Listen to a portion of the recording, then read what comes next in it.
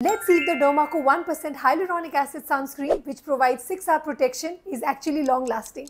We shall compare it with a regular sunscreen. I have applied this UV stickers and applied the Dermaco sunscreen on one side and regular sunscreen on the other side. After 3 hours, you can see the difference. The Dermaco is still providing protection against UV rays. So this long lasting sunscreen actually works and protects the skin for longer. It also has SPF 50 and PA4 plus and leaves no white cast. It is super lightweight and sweat resistant. Are you excited to try this?